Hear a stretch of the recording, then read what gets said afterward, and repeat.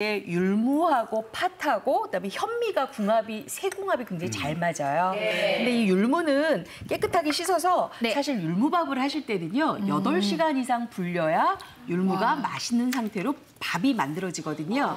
근데 밤에 좀 주무시기 전에 어, 닦아서 좀 불려놨다가 다음 날 쓰셔도 되는데요. 나는 그것도 좀 귀찮다 그럼 미리 좀 많이 삶아 놓으세요.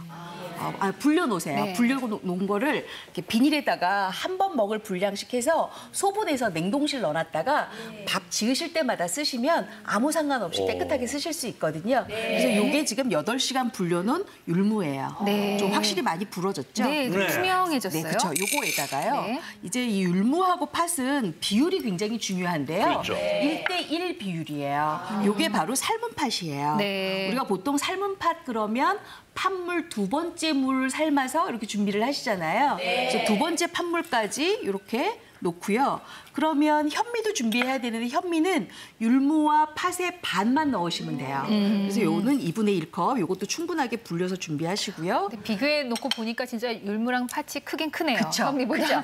그러고 난 다음에는 요게 지금 팥물인데요. 네. 우리가 보통 이제 율무, 율무 팥밥을 지을 때는 네. 그냥 맹물보다는 아, 다시마 우린 물이나 또는 팥물을 집어넣는 게 가장 좋은데 네. 저는 팥물을 좀 선택했어요. 그래서 팥물을 이렇게 부어주시는데요. 이건 두 번째 끓인, 파- 그러니까 끓인 팥물인 건가요? 네, 그렇죠. 예. 우리가 보통 이제 팥을 끓일 때 삶을 네. 때 첫 물은 따라내고 버리고, 예. 두 번째 물을 끓여서 이렇게 팥물을 네. 만드는 거예요. 맞아요. 네. 자, 이렇게 해서 이제 제가 밥을 지으면 되는데 음. 요건 그냥 일반적인 밥솥 밥, 솥이거든요. 그러니까는 그냥 내열로 그냥 음, 잡곡밥 취사해서 바로 지으시면 되고요. 어허. 제가 일부러 조금 더 맛있는 밥을 드시게 하기 위해서 네. 가마솥밥을 준비를 했어요. 네. 가마솥.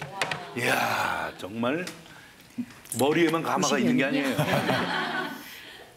어머머머머. 이게 지금 어머. 제가 아까 설명해 드린 것처럼 이렇게 딱 그렇게 와, 색깔이 네.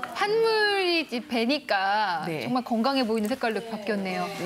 근데 이 밥맛이 어떨지 정말 궁금해요. 찰기가 많지는 않을 것 네, 같은데. 찰기가 많진 않은데요. 이게 굉장히 뭐랄까요 고소하면서도 씹는 재미가 있어요. 네. 제가 이렇게 야, 난 밥을 재미로 먹는 사람은 처음 봤어. 떠서 요거 한번 잡숴 보세요. 먹는 재미가 있을 것 같아요. 네. 뭔가 좀 아우. 그죠? 네. 나는 재미가 아니고 취미예요. 찰기는 없어 보여서 네, 찰기는 어떤 별로 맛일지. 없어요.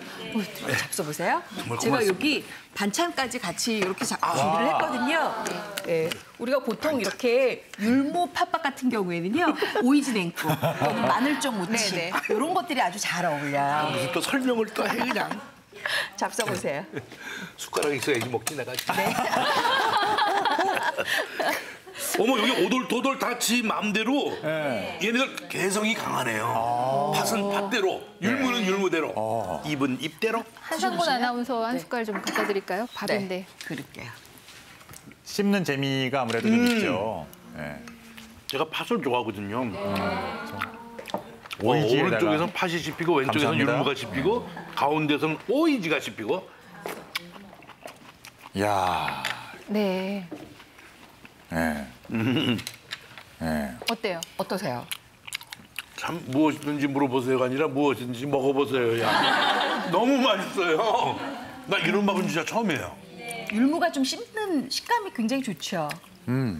덕덕 덕덕 절, 절 잡고 계셨군요. 터지네. 네. 그 이게 그러니까 불 그러니까 많이 이제 그 부피가 커지잖아요. 네. 그러니까 섭취하는 칼로리도 줄일 수 있고 네, 맞아요. 씹으면 씹을수록 재미가 있네. 네. 달콤한 맛도 나고 네. 괜찮습니다 이거. 이거는 한 30번 이상 씹을 걸 좀 권해드릴게요. 네. 소화를 위해서도 그렇고 그쵸. 씹으면 씹을수록 구수한 맛이 나요. 네. 근데 선생님 밥은 줬는데 아까 이 물 만드는 건 어떻게 만들어요? 아, 요거요? 네. 요건 아주 간단한데요. 아까 제가 율무 어, 굉장히 좀 뭐랄까요.